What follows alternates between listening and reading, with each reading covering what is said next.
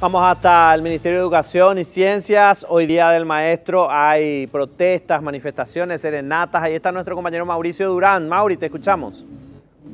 Sí, así es compañero, sí se está realizando aquí frente al Ministerio de Educación una serenata. El objetivo de esta serenata, de esta actividad, es el de, según mencionaron los propios docentes, el de recordar la situación precaria en la cual se encuentran los trabajadores de la educación. Vamos a acercarnos a una de las personas que se encuentra aquí.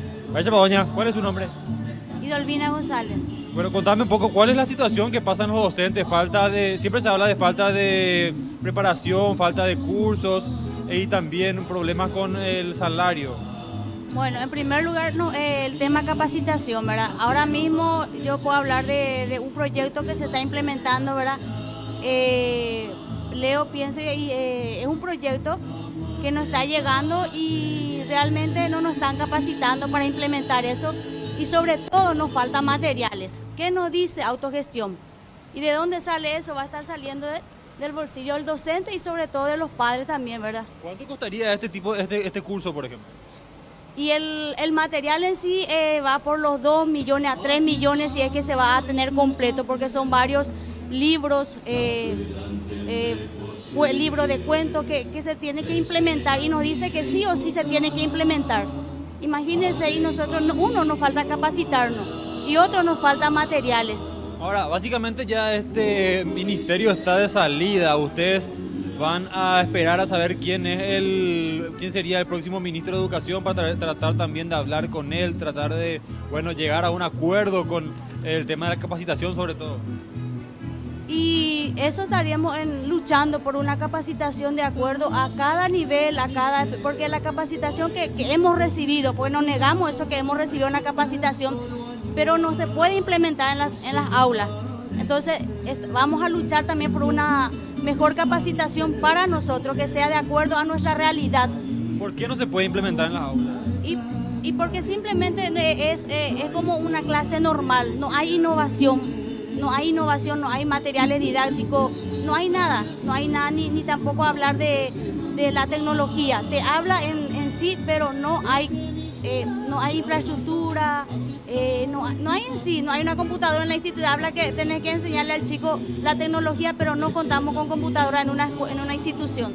Bueno, muchas gracias. Vamos a acercarnos a otro de los dirigentes, compañeros, para que nos explique, bueno, cuál va a ser el sistema que van a estar utilizando, si van a tratar de hablar con el ministro o qué es lo que van a hacer. Bueno, ¿van a reunirse, tratar de reunirse hoy con las autoridades del ministerio? No, no.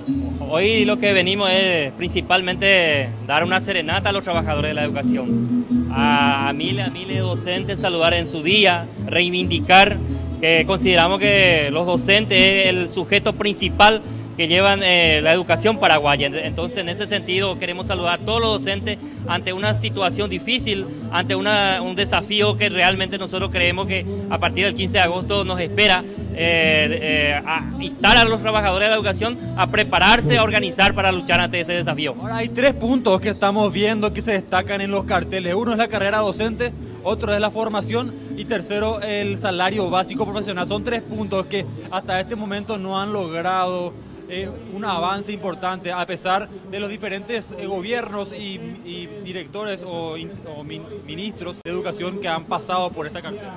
Exactamente, eh, hace 17 años que no se cumple una ley 1725 que el año pasado hemos dado un pasito y nosotros creemos que este año tenemos que seguir para concretizar la carrera docente, para concretizar el salario básico profesional y un programa nacional de capacitación para todos los docentes del país. ¿Qué esperan del próximo ministro, sobre todo, ya que, bueno, el ministro que está en este momento es ya nada más interino prácticamente, y bueno, ya se está viendo quién sería el próximo ministro de Educación? Bueno, nosotros por eso instamos a los docentes a prepararse. Nosotros creemos que va a venir eh, la reforma educativa, va a venir masivamente cierre de escuela, van a atacar a los trabajadores de la educación y ante esa situación nosotros instamos a los docentes a prepararse que va a ser un gran desafío para todos los docentes. Entonces, en ese sentido, no esperamos cosa que realmente va a cambiar el tema de la educación, más que un desafío para enfrentar a esa realidad. Bueno.